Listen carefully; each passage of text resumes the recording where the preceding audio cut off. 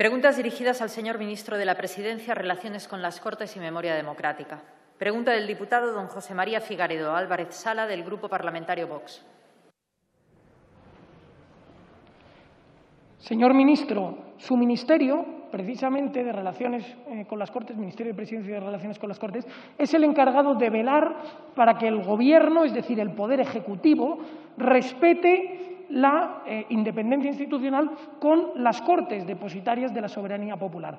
Sin embargo, sin embargo, su ministerio ha declarado las normas ilegales, ilegales que han provocado la mayor vulneración de los derechos fundamentales de los españoles, de la democracia española.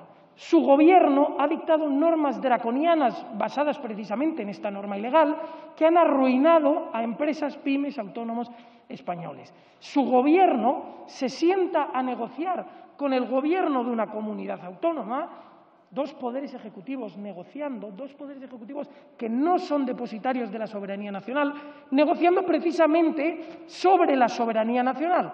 Y esto, señor ministro, nos preocupa muchísimo, porque con todo este expediente, ¿qué se plantea hacer usted? ¿Qué medidas concretas va a adoptar usted y su ministerio para garantizar que el Gobierno respeta a estas Cortes depositarias de la soberanía nacional?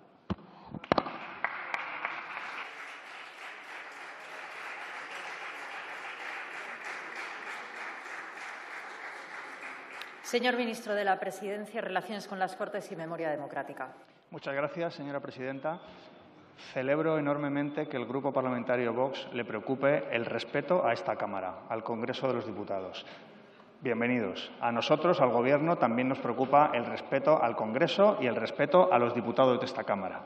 Puede estar usted muy tranquilo, porque desde el Gobierno somos absolutamente respetuosos y cumplidores con nuestras obligaciones con esta Cámara. Cualquier parámetro que usted tome en consideración, cualquiera, comparecencias del presidente, de los ministros, respuestas a preguntas, tramitaciones parlamentarias de los reales decretos leyes, lo que usted quiera demuestra que somos un Gobierno cumplidor y respetuoso. Y, por cierto, esa preocupación que usted plantea por el respeto a esta Cámara, espero que sea la primera señal de su propósito de enmienda.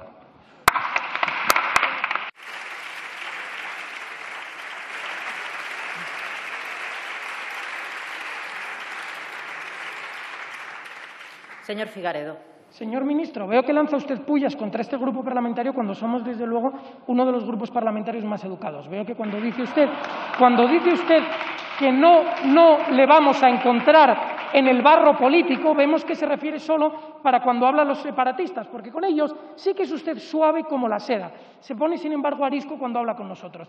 La realidad dice otra cosa, señor ministro, porque su Gobierno es uno de los ministros de la democracia que más proporción de preguntas escritas ha dejado sin responder a este Poder Legislativo. Su Gobierno, cuando viene a comparecer aquí con toda su tropa de ministros, supuestamente, nos deja abandonados y trae frente a la soberanía nacional solamente a seis de sus ministros.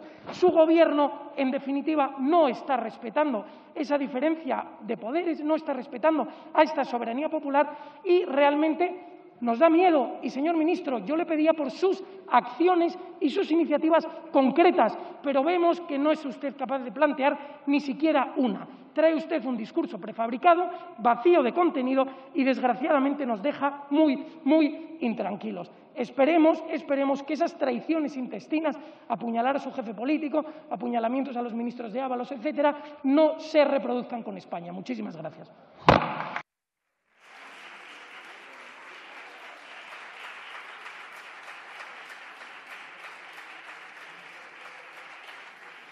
Señor ministro de la Presidencia, Relaciones con las Cortes y Memoria Democrática. Muchas gracias, señora presidenta. Le voy a contestar, señor Figaredo, a aquella parte de su pregunta que he entendido, porque ha habido otra parte muy confusa que no he sido capaz de entender.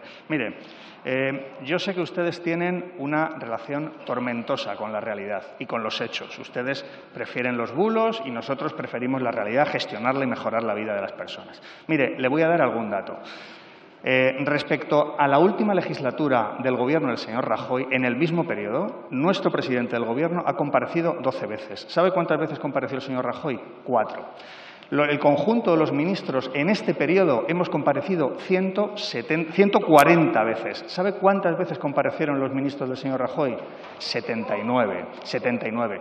También en la media de ausencias de ministros a la sesión de control. Nosotros tenemos la media de ausencias más baja de las últimas legislaturas. Por tanto, señor Figaredo, lo que le digo es que puede usted estar tranquilo, porque también da cifras respecto a preguntas que no son ciertas, porque hemos respondido más del 93% de las preguntas que se nos han formulado. Más de 100.000, más de 100.000, cuando gobiernos anteriores estaban por debajo de esa cifra con muchas menos preguntas. ¿Sabe lo que eh, falta en esta Cámara a veces por parte de su grupo. Le pregunto por el respeto. ¿A usted le parece respetar, insultar a una diputada socialista cuando está haciendo uso de su palabra en la tribuna? ¿Eso le parece respeto?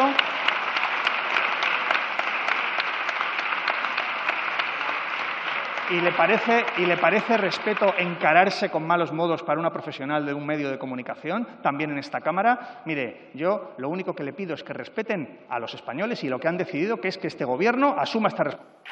Muchas gracias, señor ministro.